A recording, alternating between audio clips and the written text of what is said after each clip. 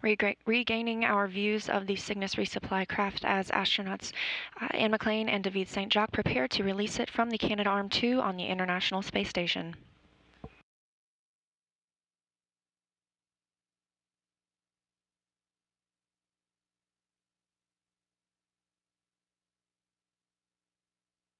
The vehicle has now been unlatched.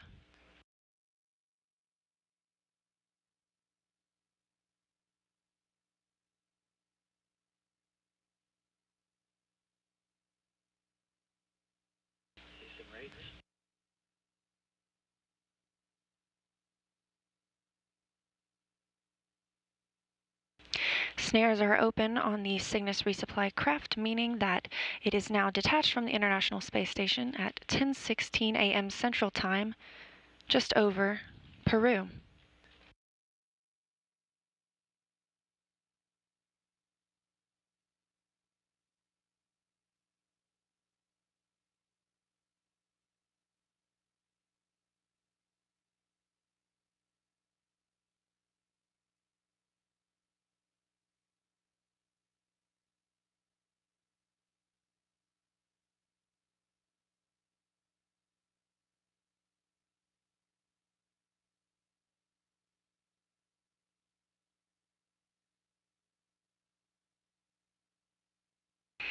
Got a view um, from the Canadarm2 of the Cygnus resupply craft, now backing away from the International Space Station.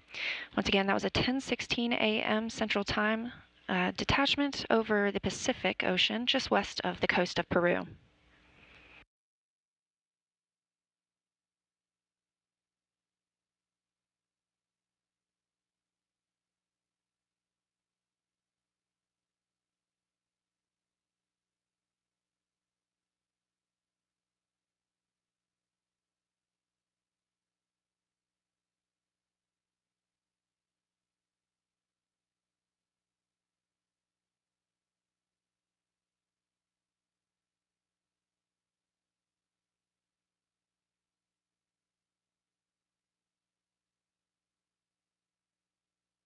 Teams on the ground reporting that everything is looking nominal for the Cygnus departure.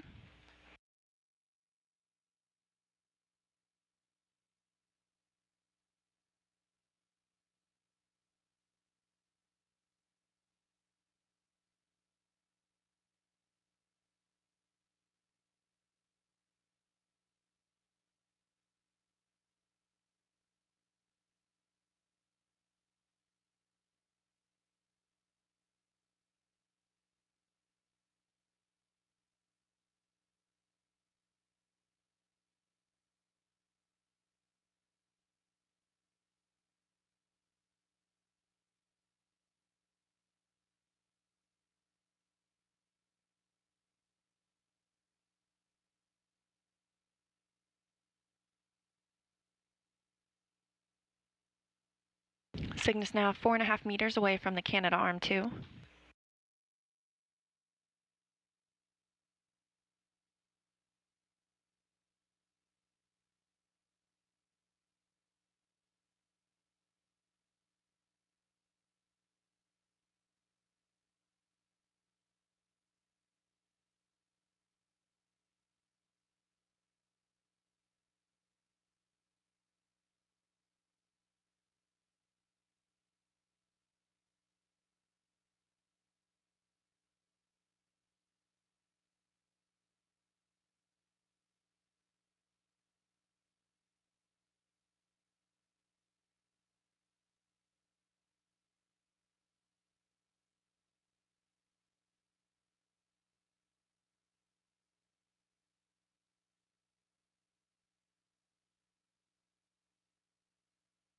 Houston station on two from the cupola.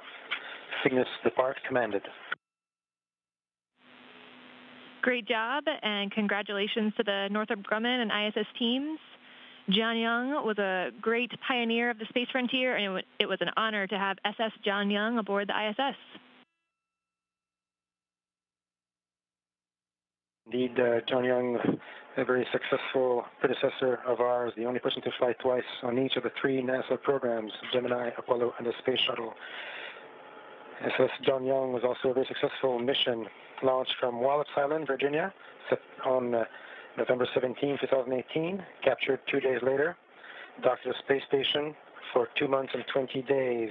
It arrived with 3,350 kilos of cargo and departed with more than two and a half tons of trash conducted more than 20 experiments, including groundbreaking science to help us understand and treat Parkinson's disease in a new prototype facility for recycling and make our own tools here on orbit.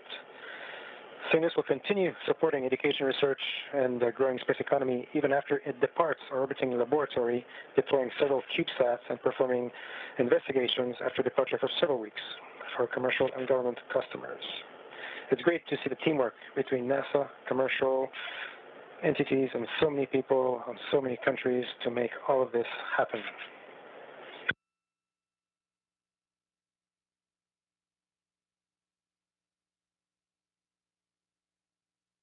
The departure burn of Cygnus has begun. Thank you for that.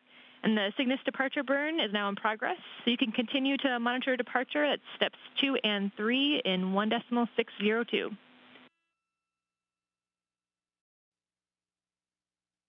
The vehicle now exiting the keep out sphere, about 200 meters away from the space station.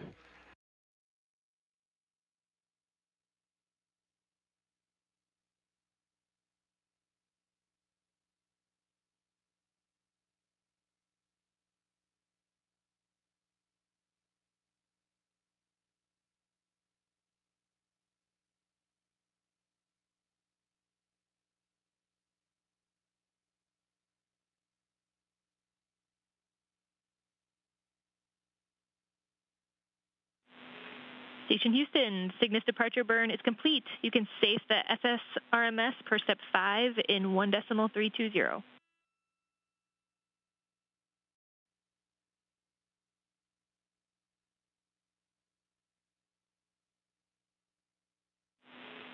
In Station Houston, Cygnus has exited the 200 meter keep out sphere.